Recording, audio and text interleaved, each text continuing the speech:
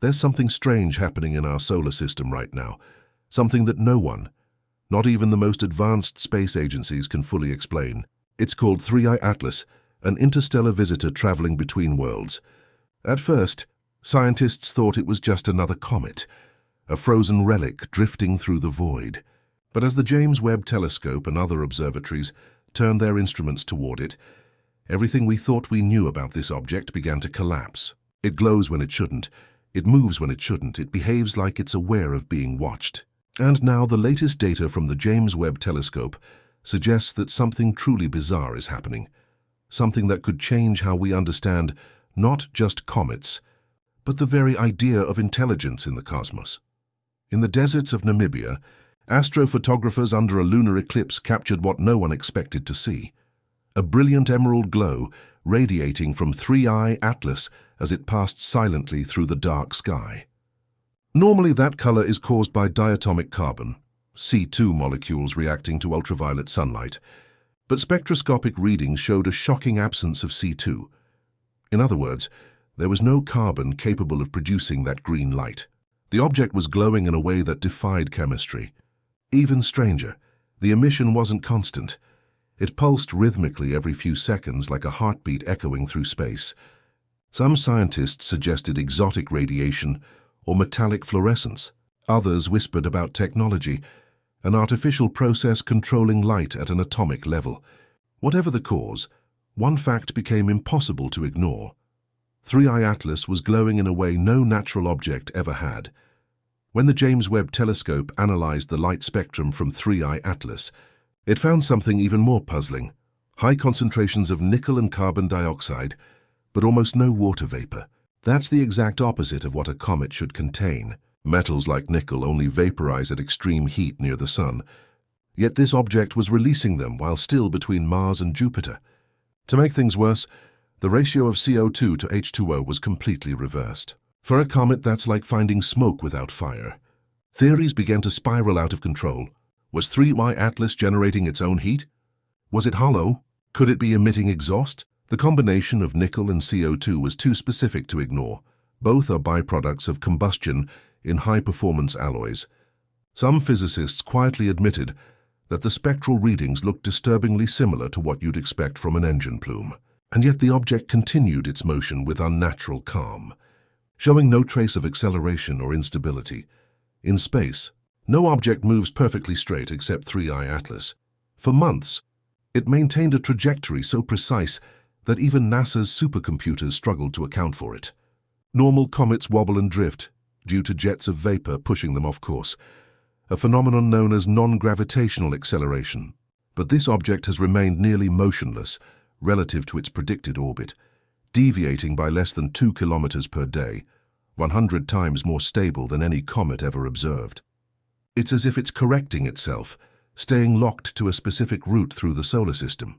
Astronomers began comparing it to Oumuamua and Borisov, two previous interstellar visitors, but even those displayed erratic behavior. 3I, Atlas in contrast, behaves more like something being guided, holding position, conserving energy, adjusting just enough to stay on course. If it were a spacecraft, this is exactly how it would fly, silent, deliberate, and efficient.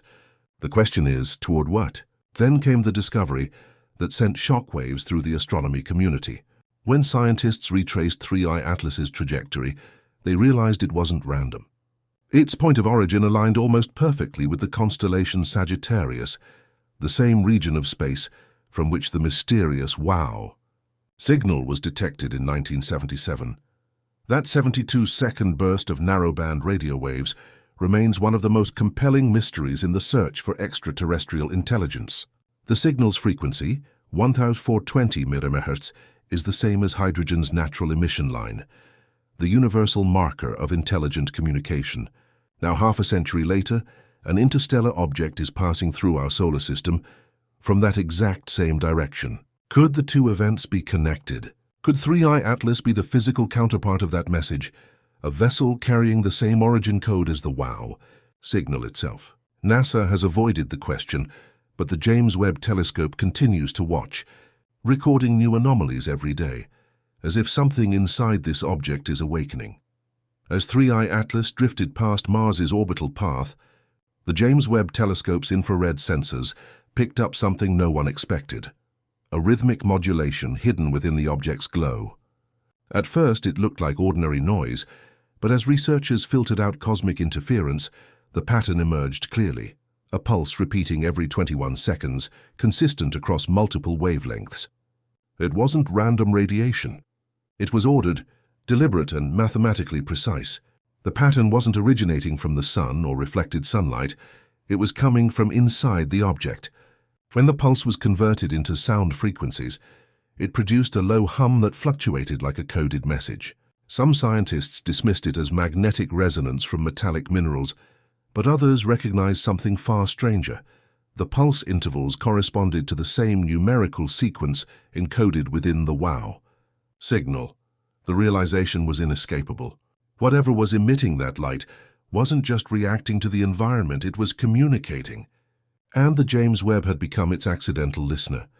A comet typically gets brighter and hotter as it approaches the sun, but 3I Atlas broke that rule completely. As it moved deeper into the inner solar system, instead of heating up, its surface temperature began to stabilize, even cool, in perfect equilibrium with the surrounding vacuum. The James Webb Telescope recorded a thin layer of material forming around the object, reflecting sunlight in irregular pulses. Spectral analysis revealed it wasn't dust or ice, but a dense metallic vapor, behaving more like an energy field than a gas. It seemed to absorb solar radiation and re-emit it in precise harmonic waves, almost like a shield adapting to changing conditions. Inside that shell, the core of the object remained dark, invisible to all sensors.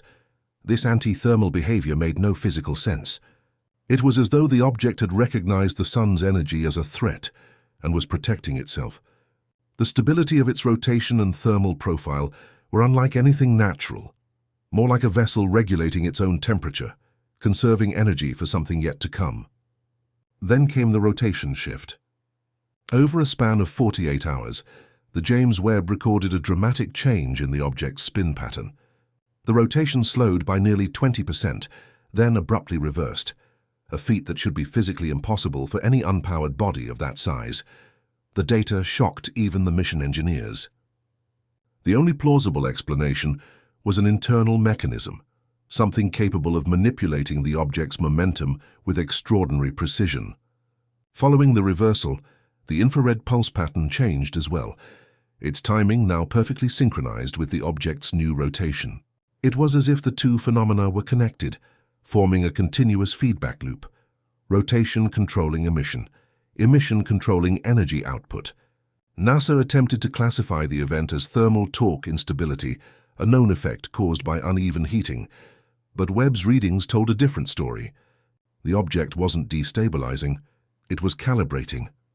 Each rotation seemed to align with gravitational vectors pointing toward the Sun, then toward Earth. It wasn't tumbling randomly through space. It was orienting itself. As the object stabilized after its rotation reversal, the James Webb Telescope finally captured a clear image of 3I Atlas's nucleus using its near-infrared camera. What appeared on the data feed stunned everyone in the control room. The nucleus wasn't spherical like a comet, nor elongated like Oumuamua.